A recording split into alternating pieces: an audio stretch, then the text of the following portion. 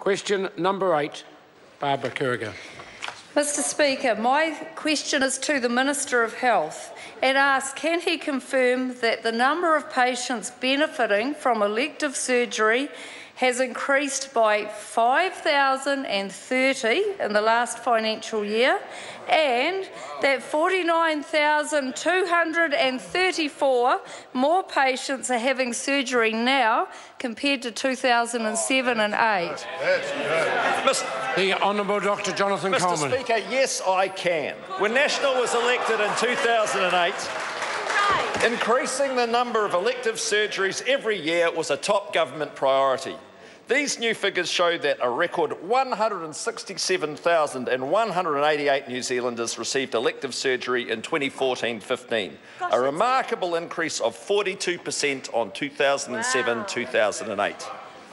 To Mr Speaker. Supplementary question, Barbara Kuriger.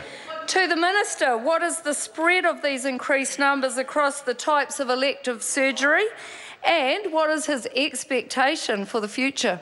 Mr Speaker. Uh, the uh, Honourable Dr Jonathan Coleman. Mr Speaker, this continued growth in elective surgeries, over 5,000 in the last year, has been spread across the specialties. That includes more than 690 orthopaedic operations, 1,300 general surgeries and 150 more cardiothoracic surgeries. It is my expectation that DHBs will continue to deliver increases averaging 4,000 more surgeries a year over the next three years, which is why the government has invested an extra $92 million into elective surgery in the last budget. This government is committed to protecting and growing public health services, and the extra 50,000 surgeries over the last seven years is evidence of that commitment.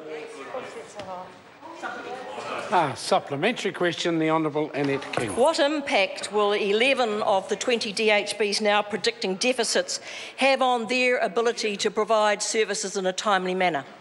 Uh, the Honourable Dr Jonathan Coleman. Mr Speaker, the member doesn't need to worry about that because we have reduced those deficits from 150 million under the last government to around 50 million and dropping over the longer term under this government. So in actual fact, there's nothing to worry about. It won't be like uh, when Mrs King was minister, when the budget doubled, but there were 2,000 Order, fewer order, surgeries. order, order.